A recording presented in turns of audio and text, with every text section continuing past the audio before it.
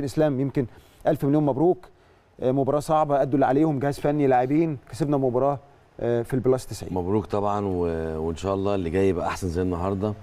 آه، في أخطاء حصلت آه في أخطاء حصلت لكن الروح في الثالث والرابع فعلا فرقت وفعلا غطت على الأخطاء وده اللي إحنا دايما بنقوله.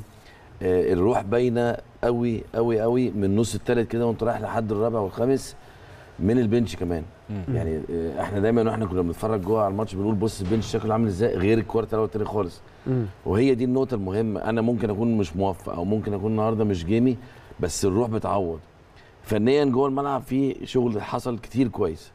زي طريقة الدفاع على والتر. كنا بنتكلم في الأول إن إحنا الراجل والتر ده والتر هودج ده بيعدي ما بيلاقيش حد بيقابل.